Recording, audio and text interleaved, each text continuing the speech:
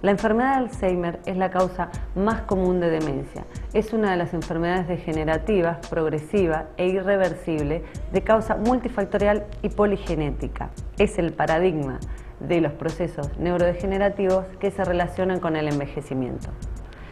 El gen de estudio, el más estudiado y aprobado clínicamente, es el gen de susceptibilidad a la enfermedad genética de Alzheimer, que es el APOE el APOE es un gen que se encuentra en el cromosoma 19 y que eh, codifica unas proteínas que están encargadas eh, del transporte y la distribución de colesterol y en el sistema nervioso eh, la reparación de neuronas y plasticidad.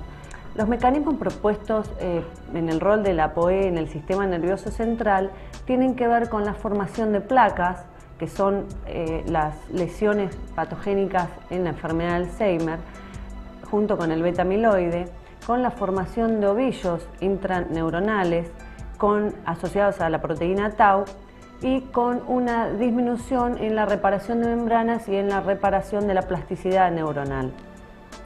Eh, todos tenemos el gen de APOE. La pregunta es cuál es nuestro genotipo individual. Para hablar de ellos tenemos que clasificar el APOE, tiene tres isoformas dependiendo de su estructura. Una es el APOE 2, el APOE 3 y el APOE 4. Heredamos de cada progenitor un APOE, por lo cual tenemos en genotipos seis tipos diferentes.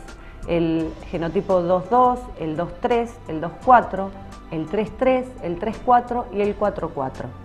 ¿Cuál es la importancia de la diferencia de estas isoformas? Que eh, unos son de mayor riesgo para enfermedad de Alzheimer, como lo es el APOE4, que es la forma más anormal y que está asociada a trastornos cognitivos, a deterioro cognitivo, eh, a un declive eh, más rápido del, trastorno cognitivo, a una transformación del, del deterioro cognitivo a enfermedad de Alzheimer. También está asociado a enfermedades cardiovasculares y a otras patologías.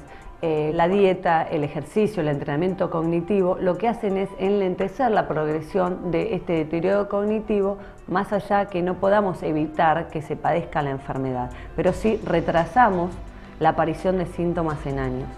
El objetivo es tratar de hacer un diagnóstico precoz para preservar las capacidades del paciente y mantener su independencia el mayor tiempo posible.